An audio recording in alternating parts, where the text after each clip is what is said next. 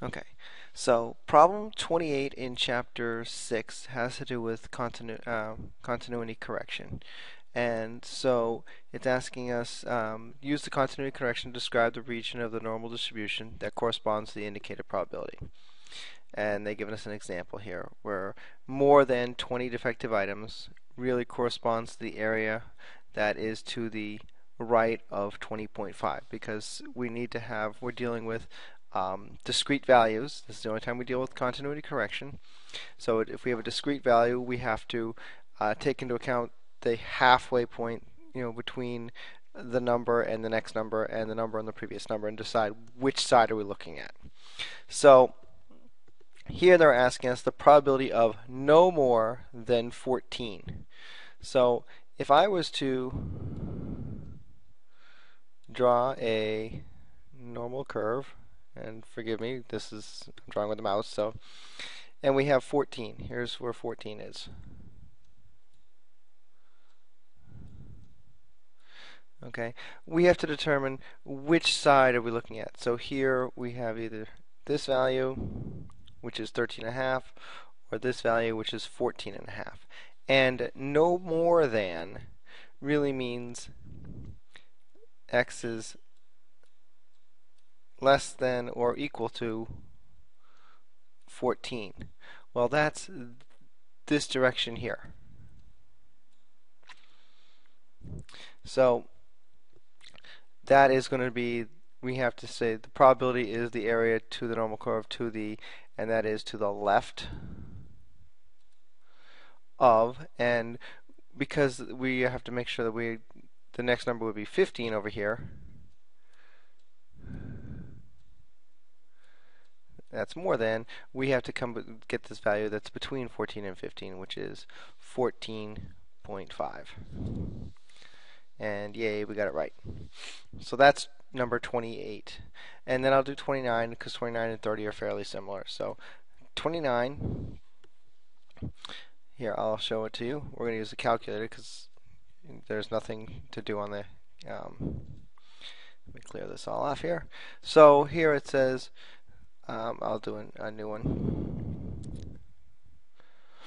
Um, well, actually, we can just use this one. So assume that 46% of uh, people have uh, zero um, group zero blood, and a hospital needs is doing a blood drive. They need zero blood. they need at least 232 donors. If they get 470 volunteers, uh, is there likely to be enough um, people who have group O blood? So we need to do some calculations. Well, we need to say this is a binomial distribution because we ha either have it or we don't have it.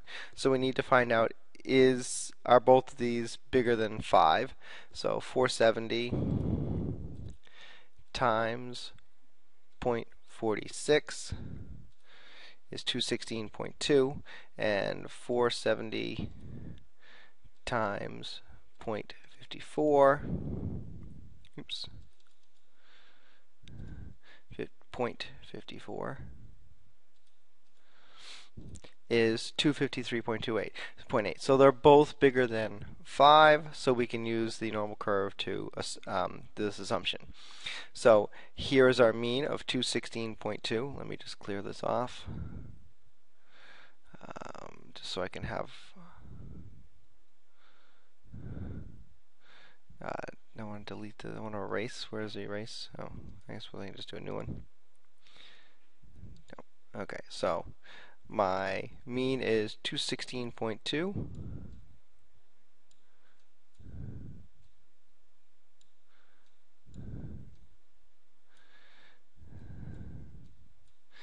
That's my NP. And now I need to calculate the square root of NPQ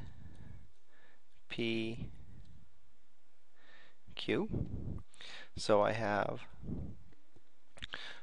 470 times 0.46 times 0.54 enter that gives me a value but I need the square root of that so second square root and I can bring back the answer second answer that is 10.8049 and I'm going to just store this in S. So store in S for standard deviation. Oops. Alpha S for standard deviation. So, but I can write down here it's 10.8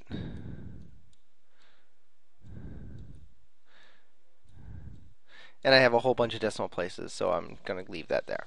So now I have to do my math. Now remember, I have to figure out, well, which side am I looking at? Now I have my normal curve. Here's my mean of 216. Okay.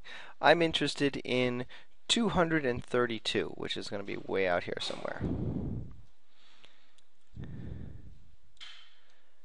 Okay, so I have to have 232 or more people. So I have to either decide do I am I interested in 231 or 233. All right, sorry. You know, 231.5 or 232.2. Well, I want more than I want this direction here. So I need to use the number that's a little less than that. So 231.5 is going to be my x value. 231.5 is my x value. So I do my math. I have 231.5 minus my mean 216.2 enter and now I'm going to divide that by my standard deviation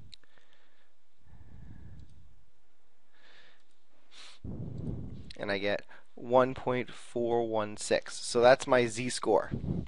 Now I can look on um, my distribution here. Second distribution normal CDF so the value from you know negative 10,000 to my answer, because that was normalized, I get is 0.9216. Well, I want to have, that's to the left, so I want to have to the right, which is 1 minus my answer.